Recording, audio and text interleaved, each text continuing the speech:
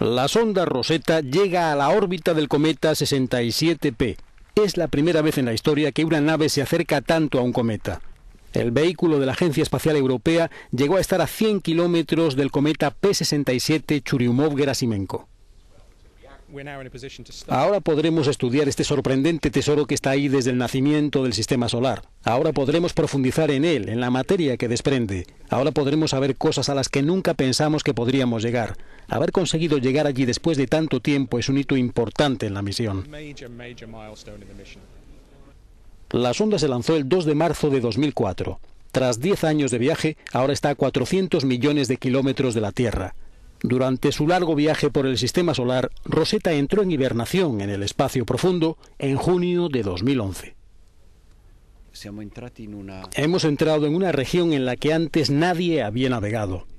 Cerca de un cometa hay gas y polvo. Esto no es habitual en los vuelos espaciales y tenemos que aprender a maniobrar allí. Las maniobras de las próximas semanas serán decisivas. Tras batir el récord en la historia espacial de estar 957 días hibernada, la nave se volvió a activar en enero pasado. La crónica de nuestra corresponsal Mónica Pina.